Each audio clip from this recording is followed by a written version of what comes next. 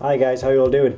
Um, this video is going to basically show you a demonstration, so a setup and testing of the Launch EasyDiag 2.0 Plus. Uh, it's a multi-system, multi-vehicle diagnostic tool uh, which will allow you to diagnose faults, read fault codes, reset warning lights for things like engine, ABS, transmission, airbags, things like that. We're going to use a iOS operating system. This is an iPhone 6 and we've already downloaded the app. It's called the Easy Diag app. I'll show you how to get that. So you just go into your app store um, or if you're using the Android go into the place where you normally find your apps. So we'll, uh, we'll click on search here and we'll just click on Easy Easy Diag and this is it here. It should say free here, it's a free app. Um, if so, just click on free and it'll download. Um, but we've already downloaded it, so it's just going to give us the option to open it. Um, so we'll come out of this and then we'll actually go to the app. Now, um, got options down the left hand side here. Click on the login button and it'll ask you for a username and a password. But we don't have anything just yet because this is the first time we're using it so we've got to click on register and then you need to put in a username, a password, confirm password, email and then your country and then register. You probably, there you go, you can see that a bit easier there. So we're going to go ahead and register this now and then we'll, uh, we'll come back uh, for the next step. Alright, so we've just registered the unit uh, so we just registered ourselves and now what we need to do is telling us before experiencing the vehicle diagnosis software you need to register the connector which is this thing and this is where this comes in hand here. So register connector and it's asking us to put in see that there product serial number and verification code.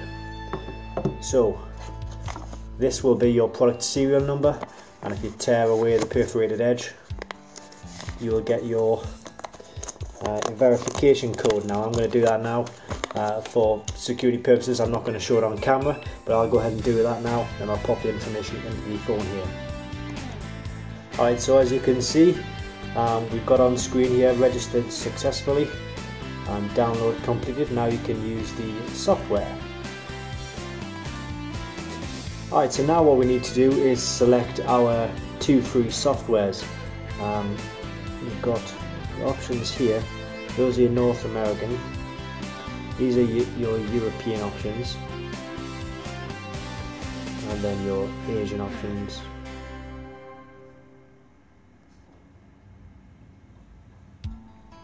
Right so what we are going to do we are going to since we deal with European cars mostly we're going to diagnose the sorry the uh, download the Mercedes-Benz so we just need to select the Benz. And also European Ford which is Euro Ford here so then we'll click next.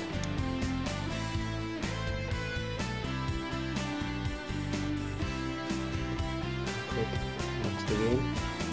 And there you'll see the software is downloading. So we'll come back to that once these are completed. So now as you can see we have downloaded the Mercedes-Benz, the eOBD2 and the European Ford. So basically what we're doing here is we can download, uh, sorry, diagnose any system within Mercedes-Benz. We can down, uh, so we diagnose any system within European Ford.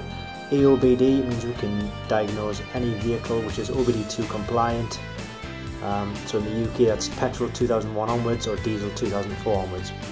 So we'll just click OK to that and then what we'll do is we'll select Benz here I think what we're going to do is we're going to go into the vehicle now and we'll uh, into a Mercedes-Benz vehicle and what we'll do is we'll see if we can start diagnosing some faults. Alright so now we're in the vehicle. We need to plug our connector into the OBD2 port. The port on this vehicle is right here.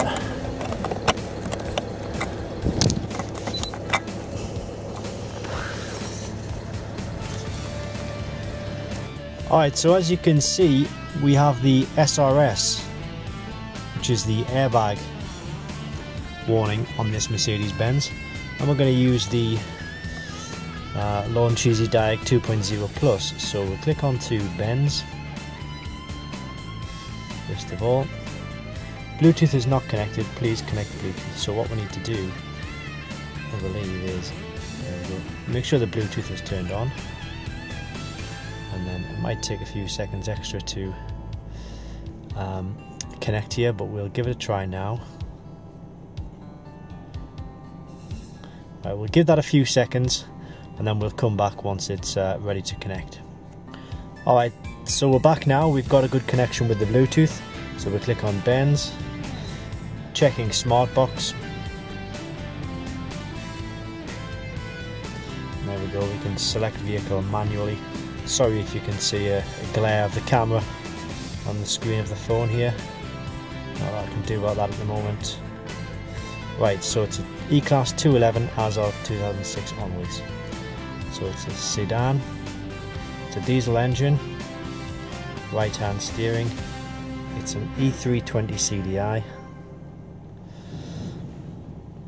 And we'll click on control units, click on the body, and we'll click on airbag.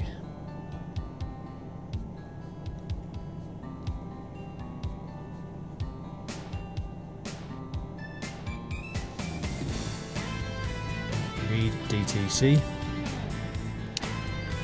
So we've got uh, 9007, the component or signal line to the. Give us any more information? It's not giving us any further information.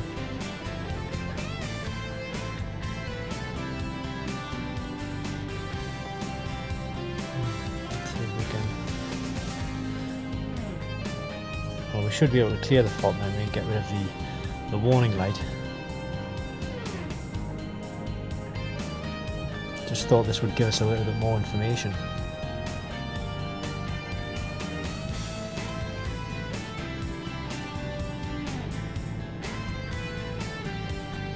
Well, the main thing is we've got the trouble codes in which the fault relates to. So what we can do now is go ahead and clear fault memory. We should be able to get rid of the SRS warning light. There we go. Clear fault memory. So the SRS light has gone off. It's telling us to switch off the ignition, which we'll do. And then we'll start it up again.